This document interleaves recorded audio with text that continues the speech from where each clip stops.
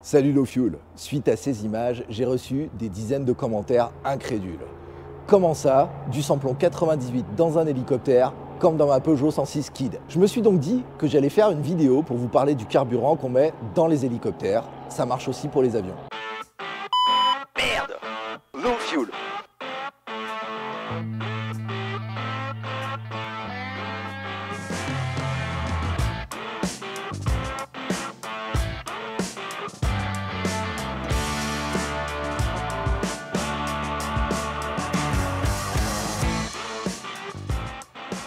Pour comprendre les différents types d'essence utilisés en aviation, il faut d'abord connaître les différents types de moteurs dans lesquels on les utilise.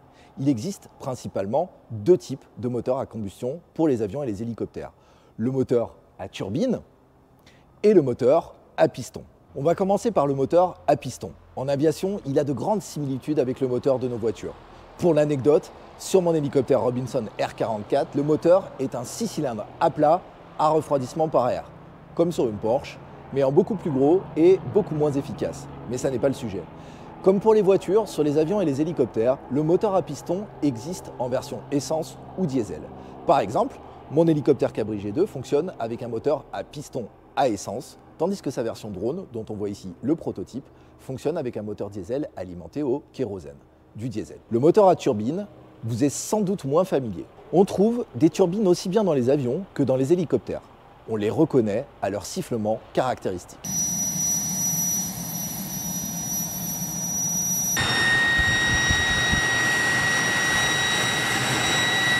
Dans les avions, les turbines sont à la base du turboréacteur ou du turbopropulseur. Dans les hélicoptères, elles sont à la base du turbomoteur. Les turbines fonctionnent avec un carburant appelé kérosène. Il existe plusieurs normes de kérosène, principalement différenciées par leur température de congélation. J'y reviendrai. La plus courante en France est le jet A1. Fait amusant, en cas d'urgence, une turbine peut brûler à peu près n'importe quel type de carburant, même de la vodka, tant qu'on y ajoute de l'huile. Ça reste réservé au cas d'urgence absolu seulement, car il faut ensuite démonter entièrement la turbine pour la nettoyer et la contrôler. Les moteurs à piston et les turbines ont un point en commun. Il leur faut du carburant pour tourner. C'est d'ailleurs ce qui fait les mauvais jours de notre passion. Les turbines et les moteurs à piston diesel sont donc alimentés au kérosène Jet A1, un carburant spécifique qui gèle à moins 47 degrés Celsius. Ça peut paraître un détail, mais je rappelle qu'il fait aux alentours de moins 56 degrés Celsius à l'altitude où volent les avions de ligne. Les moteurs à piston essence sont alimentés à l'avgas. Avgas est la contraction des mots anglais aviation et gasoline. Il existe plusieurs types d'avgas. En Europe, on rencontre le plus couramment l'avgas 100 LL. LL comme low lead, qui signifie avec un taux de plomb réduit. Un carburant de couleur bleue, très similaire à l'essence automobile, mais à plus fort indice d'octane et contenant du plomb. L'Avgas UL91, UL comme unleaded, qui signifie sans plomb. Elle était principalement utilisée par les ULM, mais de plus en plus de constructeurs de moteurs certifiés l'autorisent dans leurs moteurs.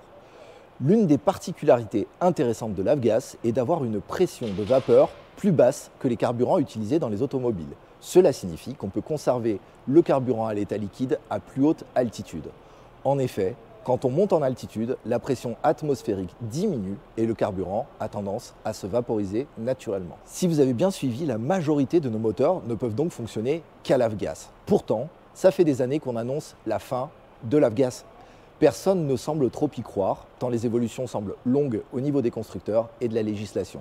Récemment, on a cependant vu aux États-Unis une accélération de ce changement quand de très gros aérodromes ont cessé de distribuer de l'avgas, pour ainsi dire, du jour au lendemain. Mon ami Axel a fait une vidéo intéressante à ce sujet sur sa chaîne YouTube LC41. Je vous mets un lien juste là. L'essence est une des plus grosses problématiques de la préparation de mon tour du monde. En effet, dans certains pays, l'aviation privée est très peu développée et il est donc très dur d'y trouver de l'avgas, le principal carburant avec lequel fonctionne mon cabri. Coup de chance, sous certaines conditions, il est possible d'utiliser du MOGAS, du carburant automobile, dans le cabri. C'est pour cette raison que j'aurais pu faire le plein à la pompe dans le générique. J'utilise le conditionnel car ce jour-là, en vérité, je n'ai pas versé une goutte de samplon 98 dans le réservoir et j'avais une très bonne raison pour ça. Mettre du samplon 98 dans le réservoir d'un cabri G2 est autorisé par le manuel de vol. On peut même le mélanger avec de l'avgas, mais cela entraîne des limitations dont vous trouverez le détail dans la section 2 limitation à la page 2.6 du manuel de vol du cabri. Quelle que soit la proportion de carburant automobile que je mets dans mon réservoir, je n'ai plus le droit d'utiliser la puissance maximum de décollage de mon hélicoptère. Or, ce jour-là, pour repartir de la station d'essence, je devais décoller verticalement et je risquais donc d'avoir besoin de la puissance maximale. Quand on fait le plein d'un aéronef, on dit qu'on fait son avitaillement. Sur certains aéroports, un camion vient faire le plein de votre aéronef. Sur d'autres, il faut aller à la pompe et surtout ne pas se tromper entre Avgas et Jet A1. Sur la carte VAC, la carte qui documente les aérodromes, tous les détails, carburant disponible, horaire d'ouverture et moyens de paiement sont donnés à la rubrique numéro 10 appelée AVT. Le plus souvent, on paye avec une carte carburant propre à un réseau de distribution. En France, les plus courantes sont la carte Total et la carte BP. On paye aussi parfois par carte bancaire et dans les plus petits aérodromes par chèque ou espèce. Là où j'ai grandi, il paraît qu'on peut même payer en nature, mais c'est une autre histoire. Dans tous les cas, cela demande de bien anticiper les étapes d'avitaillement quand on prépare son vol. Petite différence par rapport au plein d'une voiture, on met l'hélicoptère à la terre de manière à éviter qu'une étincelle ne puisse mettre le feu à de l'essence vaporisée. Je vais maintenant vous donner quelques astuces tirées de ma propre expérience en espérant qu'elles vous éviteront des erreurs toujours stupides et parfois très dangereuses. Pensez à consulter les NOTAM avant de choisir un terrain pour ravitailler sur votre route. En dehors du fait que c'est obligatoire et primordial pour votre sécurité, ça vous évitera de vous retrouver face à une indisponibilité de votre carburant alors que vous n'avez plus de quoi aller sur un autre aérodrome. Quand vous êtes en hélicoptère, pensez à préciser votre carburant à la tour quand l'avitaillement est effectué par camion, il n'est pas rare que le camion de Jet A1 vienne à votre rencontre par erreur, pensant qu'on tourne au kérosène comme les hélicoptères à turbine.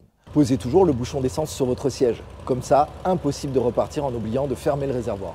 Faites passer le câble de masse dans la poignée de la portière, de cette manière, impossible de l'oublier avant de redécoller. Ayez toujours avec vous un axe métallique de 2 mm, par exemple une clé Allen. Ça permet de bloquer le pistolet de la pompe, histoire d'éviter les crampes quand on fait le plein difficile de parler carburant et moteur sans évoquer les émissions de CO2 et d'autres gaz à effet de serre et polluants. On a prévu de revenir là-dessus en détail dans une vidéo entièrement consacrée à ce sujet et qui devrait sortir avant les vacances d'été. Si vous êtes passionné par les hélicoptères, si vous avez envie de rencontrer l'équipe de Low Fuel et de voir mes deux hélicoptères en vrai, venez nous rejoindre les 14 et 15 mai 2022 à Cholet pour l'Hélico, le plus grand événement hélicoptère d'Europe. S'il y a d'autres sujets que vous aimeriez que j'explique, laissez un commentaire pour les proposer. Voilà, c'était Low Fuel qui vous parlait de fuel. À bientôt.